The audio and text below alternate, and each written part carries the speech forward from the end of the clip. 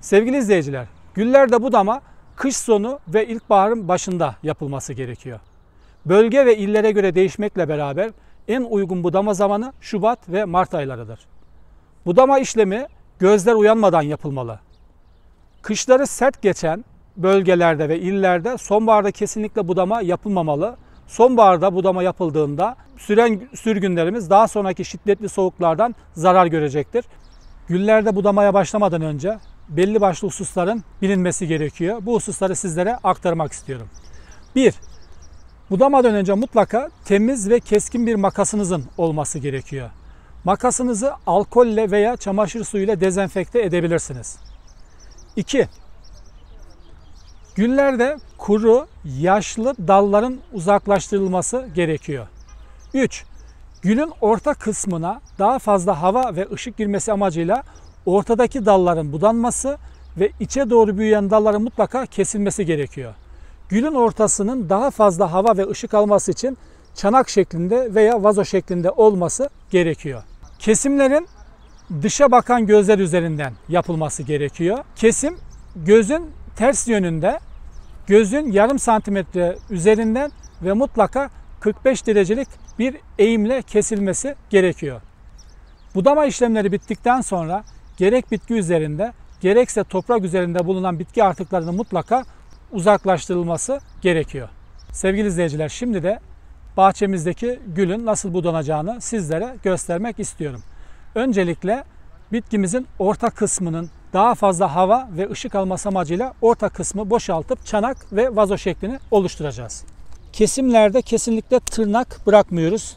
Yaşlı dala bağlandığı yerden çatal bırakmadan kesim yapmamız gerekiyor.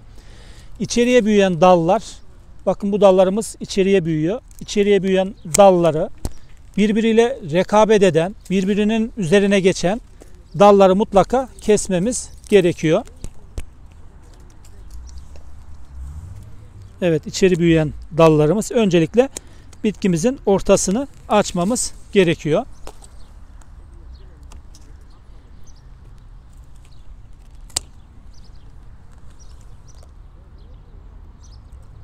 Birbiriyle rekabet eden, birbirine gölge yapabilecek bütün dalları hastalıklı, kuru, zarar görmüş dalların mutlaka kesilmesi gerekiyor. Şu an orta kısmı açıyoruz. Bu amaçla içe doğru büyüyen dalları tamamen kesmemiz gerekiyor.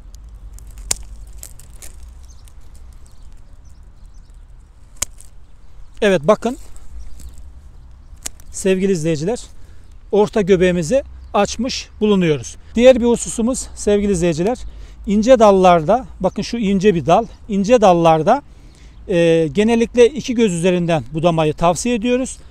Bu gibi kalın dallarda ise 3 ya da 4 göz üzerinden budamayı tavsiye ediyoruz. Az önce ne demiştik? Kesimlerin mutlaka dışa bakan göz üzerinden yapılması gerekiyor. Bakın buradaki gözümüzü görüyorsunuz bir ve ikinci göz. Bunun kesimleri ne yapmamız gerekiyordu? Bakın gözün ters yönünde yarım santimetre yukarısında ve eğik bir şekilde kesmemiz gerekiyor. Kesimlerinizi e, sürgünlerin kalınlığına ve inceliğine göre 2 ile 4 göz üzerinden yapabilirsiniz. İnce sürgünlerde genellikle 2 göz, kalın sürgünlerde 3 veya 4 göz bırakabilirsiniz. Diğer dikkat etmemiz gereken bu husus bakın geçen seneden kalma bir budama. E, budamalarda dal üzerinde kesinlikle tırnak ve çatal bırakmamak gerekiyor. Bunları da kesmemiz gerekiyor. Evet diğer türlü yine aynı şekilde bakın şu dalımızla bu dalımız iki dalımız aynı yönde.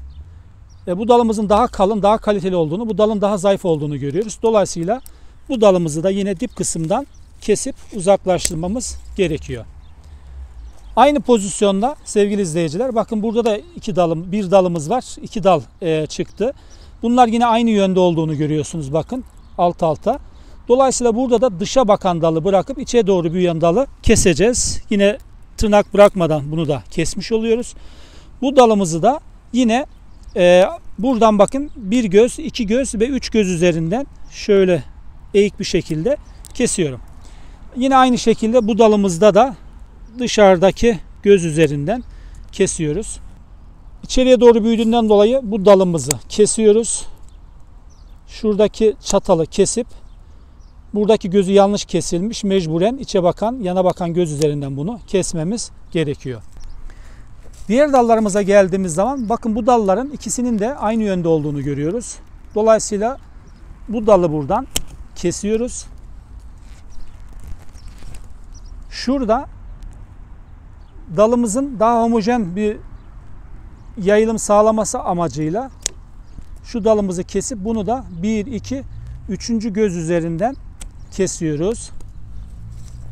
Diğer bir işlemimiz bu dala geldiğimizde sevgili izleyiciler ince dal bunu da bu göz üzerinden kesiyorum. Şu içeri büyüyen dalı yine kesiyorum. Dışa büyüyen e, dalımız var. Bakın bu dalda e, çatal kısmı var. Bu dalı bıraktıktan sonra, kestikten sonra dalımızı şuradan ikinci göz üzerinden budamasını gerçekleştiriyoruz. Şu dala geldiğimiz zaman sevgili izleyiciler bu kuru dalları öncelikle uzaklaştıracağız. Evet burada da şu çatal yapan kısımdan şu tarafa olan dalı bırakıp çatal yapan dalı kesmemiz gerekiyor. Evet son dalımıza sıra geldi. Bakın burada da dallarımız gayet birbirinde aralıklı e, devam ediyor. Bu dalım şu, ileride şu dalı kapatmaması için şu çataldan bunu kesip daha sonra da bu gözümüz bu dalımız da ince olduğundan dolayı bunu da dışa bakan üçüncü göz üzerinden şu şekilde budamış oluyorum. Bir diğer husus sevgili izleyiciler bakın burada dalımızın uç kısmının kuruduğunu görüyorsunuz. Bu şekilde uç kısmı kuruyan dallarda budama işleminde mutlaka sağlıklı dokunun üzerinden e, kesmek gerekiyor. Onun için de bu dalımızı da bakın şuradan kesiyoruz. Ve kestiğimiz zaman dalın iç kısmının mutlaka özünün beyaz olması gerekiyor. Burada dalın sağlıklı olup olmadığını anlayabilirsiniz. Sevgili izleyiciler, gülleri budadıktan sonra özellikle kalın dallarda budanan yerlere bakır sülfat sürmenizi öneriyoruz. Bakır sülfat bakın mavi renkte göz taşı bildiğiniz göz taşı. Göz taşı toz halde biliyorsunuz. Bunu hafif suyla beraber sulayıp bulamacı haline getirin. Dalınızın kestiğiniz yere bakın şu şekilde süngerle beraber yine aynı şekilde sürmenizi öneriyoruz. Bu kuruduğu zaman tamamen mavi renk alacağını e, göreceksiniz. Bakır sülfat budanan yerin geriye doğru kurumasını önlüyor.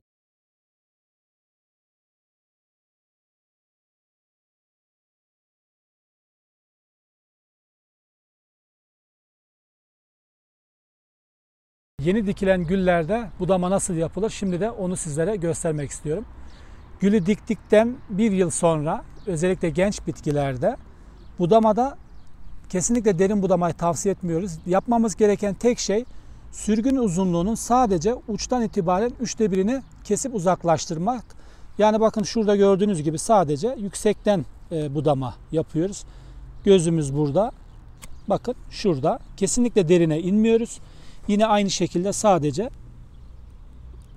şuradan kesiyoruz. Ve bu bitkimizi de bakın şuradan şu göz üzerinden kesiyoruz.